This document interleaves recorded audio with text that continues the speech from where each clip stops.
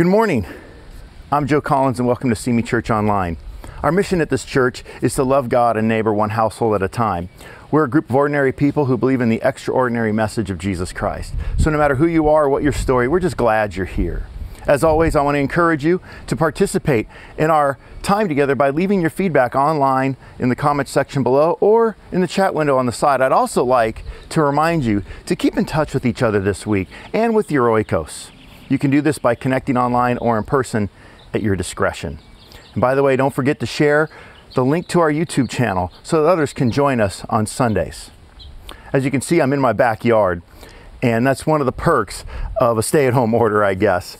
But we've been in a series uh, for the past couple weeks entitled One on One with Jesus. The idea is to look at him through a new lens and by doing so, gain a fresh perspective on his teaching and practice. Last week, we examined a one on one between Jesus and the devil, and we were reminded to depend on him, to honor him, and to trust in God. Today, I want to look at another intriguing one on one between Jesus and someone in the crowd. As always, the goal is to draw out something relevant to our faith and life today. So, I've been watching more news than I normally watch, especially the nightly news, and specifically the president's nightly coronavirus briefings. Now, whether you love them or hate them, one thing about these briefings that I've noticed is that the press corps loves to heckle them. They love to shout out questions and demand answers.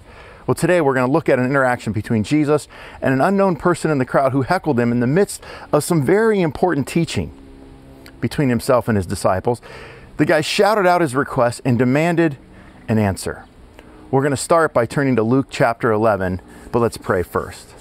Father, thank you for this time to be together. We pray for your spirit to be with us. Speak through me as I speak to the church this morning. It's in Jesus' name we pray. Amen. Luke chapter 11. When Jesus had finished speaking, verse 37, a Pharisee invited him to eat with him. So he went in and reclined at the table. But the Pharisee was surprised when he noticed that Jesus did not first wash before the meal. Then the Lord said to him, Now then, you Pharisees clean the outside of the cup and dish, but inside you're full of greed and wickedness. You know, the rift between Jesus and the Pharisees has been growing for some time, and now it has reached a new level. In Luke 11, Jesus is invited to dine by a Pharisee who becomes critical of him for not washing his hands before the meal. At the time, religious sects like the Pharisees made a big deal out of washing hands before eating. But not because they were dirty, but because in the course of their day, they might have become dirty by inadvertently touching someone who they considered unclean, which is in the case of the Pharisees was pretty much everybody. In response, Jesus called the Pharisee dirty and accused him and others like him of greed and wickedness. You know, it's no surprise that there was increasing animosity between Jesus and the Pharisees and why he wasn't invited to many more of their dinner parties after this chapter 12, verse 1. Meanwhile, when a crowd of many thousands had gathered, so they were trampling on one another, Jesus began to speak first to his disciples, saying, Be on your guard against the yeast of the Pharisees, which is hypocrisy. You know, the Pharisees may not have enjoyed Jesus' company, but the people sure loved him. And in Luke 12, we see Jesus speaking to his disciples, but a crowd of many thousands has gathered to listen in. Well, he tells his disciples to be on guard against the yeast of the Pharisees. Later on in the same interaction, in verses 4 and 5, he encourages disciples to fear God, not the Pharisees. And finally, in verse 8, he tells them to stand up to people like them. In effect, Jesus is openly calling for revival by telling his disciples and those listening to reject the hyper religiosity of the Pharisees, which is really just hypocrisy of looking good on the outside, but on the inside of being just as dirty and sinful as the people that they washed their hands of before every meal. Jesus was looking for a revival, but a revival of the heart. You know, last week, if there's one thing that really, I said that if there was one thing that really chaps God's hide, it's people who doesn't, who doubt His promises. You know, I'm going to say to you this week that if there's another thing that chaps His hide, it's hypocrisy, especially among believers. You know, the Pharisees were believers, but they were also very proud of being Pharisees and of their rigorous adherence to religious ritual. You know, that's all fine and good, but where they ran afoul of Jesus is where they is when they overlooked the sin of their own hearts, like greed, among other things. Brothers and sisters, we cannot fall into the same trap that the Pharisees did by outwardly doing religious things, but coveting sin in our hearts. Our faith needs to be genuine and needs to be devoid of hypocrisy. You know, this is some pretty heavy stuff. And you can imagine the disciples and the crowds listening intently to, and focused on every word that falls from Jesus' mouth. Then all of a sudden, someone in the crowd blurts out, Teacher, tell my brother to divide the inheritance with me. Jesus replied, Man, who appointed me a judge or an arbiter between you? Then he said to them, Watch out, be on your guard against all kinds of greed. Life does not consist in an abundance of possessions. You know, in the midst of this pretty intense teaching against the Pharisees and their hypocrisy, someone, a total stranger in the crowd, suddenly blurts out and demands that Jesus settle a dispute between himself and his brother over their inheritance. Talk about situational situational awareness. I mean, this guy had none of that. Not unlike some of the reporters at the president's press briefings. Now, I can't say that this was totally uncalled for because it was common for rabbis in that day to mediate matters like this between families. But it certainly was totally out of place. Besides, Jewish law was very clear on this matter. The eldest son was given double the inheritance and control of this state. So if there were four children, three would receive 20% each, while the eldest would receive 40%, and was the one who decided what happened or how it was divided up to the, each sibling. He could decide to pay it out all in one lump sum, give each sibling their share, and wash his hands and be done of it. Or he could also decide to keep the inheritance intact, intact and make payments to himself and his siblings, kind of like how a trust might work today. Obviously, the guy who shouted at Jesus from the crowd was not the eldest son, and he had disagreed for some time with his brother's handling of their father's estate. And not able to hold it in any longer, he blurted out his demand for mediation, and in doing so, revealed something about the condition of his own heart. He was greedy. He wanted all his money, and he wanted it all for himself. Clearly, this guy had an unhealthy relationship with money and with his family for that matter. Annoyed by this guy's lack of situational awareness, Jesus refuses to mediate for him. But at the same time, he's concerned for him. And so he warns him, like he did the Pharisee at dinner, about the dangers of greed and the emptiness that comes with it. You know, it's not often that I talk about greed, and it's not because I don't think it's wrong or relevant. It's because, like other sins of the heart, it varies in degrees and from person to person. And it's awfully hard to identify and root out, but not for Jesus. He sees what's in your heart and that includes me and you, and certainly this guy. So if you're struggling with greed or any other sin of the heart, ask Jesus to make it obvious to you and help you root it out. And I promise he will. He certainly did for this guy, and this guy didn't even ask. In verse 16, Jesus goes on and he tells him a parable. The ground of a certain rich man yielded an abundant harvest. He thought to himself, What shall I do? I have no place to store my crops. Then he said, This is what I'll do. I will tear down my barns and build bigger ones, and there I will store up my surplus grain. And I'll say to myself, You have plenty of grain laid up for many years. Take it easy, eat, drink, and be merry. But God said to him, You fool, this very night your life will be demanded from you. Then who will get what you have prepared for yourself? This is how it will be with whoever stores up things for themselves but is not rich towards God. You know, we could easily argue that the rich man in this parable is actually wise and responsible person. His farm had produced more grain than he could store, and so he decided to build bigger barns to store the excess.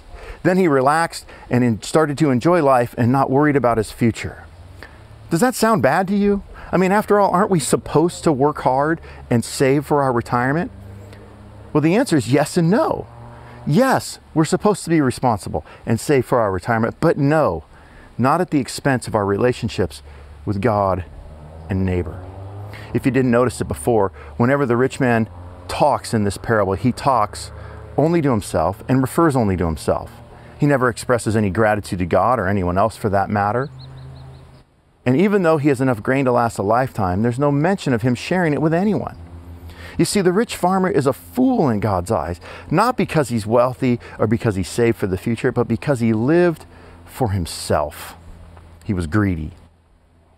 Kind of like the younger brother who wanted his inheritance all to himself. You know, I know in the midst of this economic turmoil, in the wake of COVID 19, things have gotten quite distressing. Like you, I've been watching the value of my net worth fluctuate wildly and doesn't seem to be ending anytime soon. You know, it's in times like these that I need to be reminded that there's more to my life than my bank account, and that I need to prioritize people over possessions and God over all. You know, recently a friend of mine shared a post on Facebook. I don't know where it came from, but I really enjoyed reading it because I think the message of the post is very consistent with what we're talking about today about the need for cleansing our, heart, uh, our, our hearts of the, of the sin that can get, uh, of, of heart sin and about rooting them out, about repenting, and about reviving ourselves. I'd like to share it with you now. In three short months, just like He did with the plagues of Egypt, God has taken away everything we worship. God said, You want to worship athletes?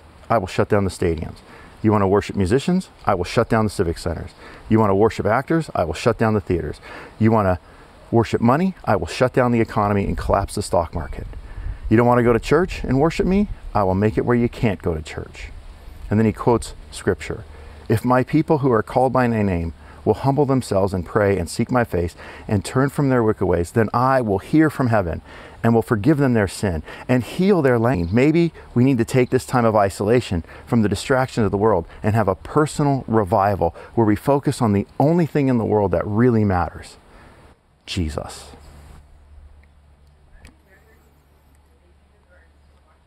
You know, I'm not taking credit for this whole coronavirus thing, but I have to admit that since the beginning of the year, I have been praying, not for our country, but for our entire culture to experience revival. Maybe God's been praying the same thing. If there's anything we can learn from this one on one between Jesus and this guy in the crowd and the current experience that we're all going through, it's that we need revival. And as I said before, revival starts in the heart. So repent of your heart sin, greed, and other things. And humble yourself, pray for forgiveness, and seek his face. You know, I want to close our time this morning by simply reading three brief but powerful vignettes that Jesus told to his disciples, to the crowd, and by extension, us, and certainly to the guy who shouted out to him. And all three illustrate what he meant when he said to that guy, Life does not consist in the abundance of possessions. Afterwards, I'm going to invite you to spend two minutes in prayer reflecting on the lesson. Then I'll say a prayer of my own and we'll be done for today. Then Jesus said to his disciples, Therefore I tell you, do not worry about your life, what you will eat, or about your body, what you will wear. For is life more than food, and the body more than clothes?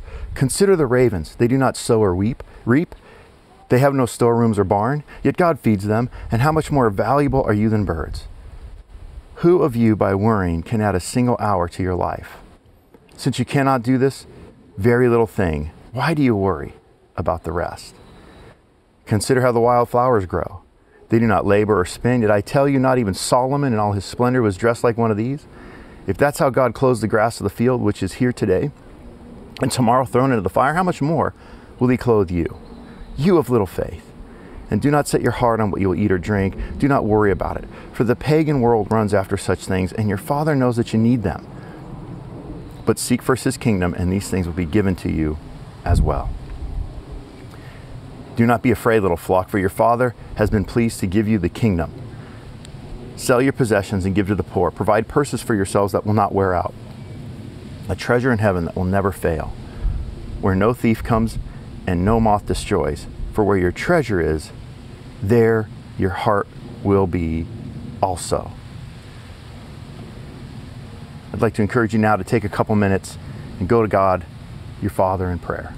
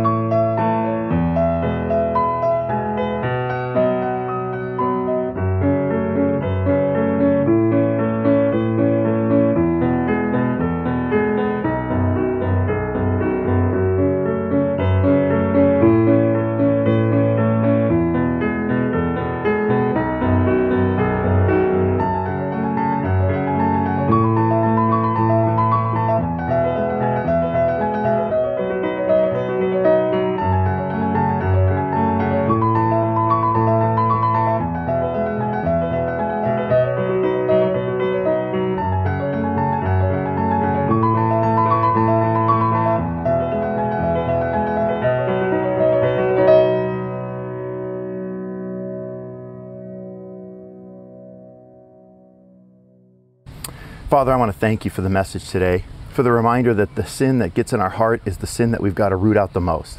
And when we do, revival follows. And I pray for that revival now. It's in Jesus' name I pray. Amen. You know, at Simi Church, we believe the Bible is the best source of truth in our world today. In it, we learn that Jesus is Lord, that He lived a sinless life and died on a cross and rose to life again. It is in this belief that we do everything. We are a member supported fellowship by people like me. You can give today online at simichurch.org or by texting keyword simichurch to 77977. I want to encourage you to take communion sometime today and remember the death, burial, and resurrection of Jesus Christ. Lastly, I want Simi Church to be your church, your family's church, and your neighbor's church. if you'd like to know more, please message me through YouTube or our website, simichurch.org. If you're not ready to do that, that's okay. Just keep coming back. You can find us here every Sunday in person or at our building as soon as we get the all clear. Thank you for joining us today. We will see you next Sunday. God bless.